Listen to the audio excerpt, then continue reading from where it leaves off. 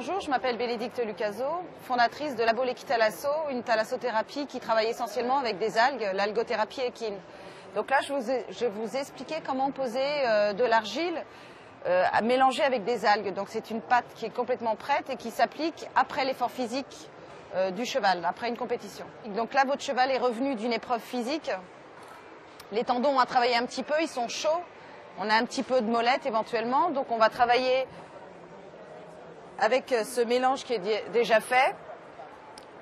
Donc on applique généreusement et d'une couche très épaisse sur l'arrière du boulet et on remonte sur les tendons. Mais il ne faut pas oublier également toute la partie euh, dorsale du pied sur le devant et on remonte largement sur les extenseurs et derrière sous les fléchisseurs. On remonte assez largement sur tout le membre du cheval pour éviter tous les engorgements dus à l'activité euh, physique donc de type euh, molette, euh, tendon un petit peu gras. Ça se pose soit froid après l'effort, mais on peut tout à fait préparer le tendon en chauffant un petit peu au micro-ondes.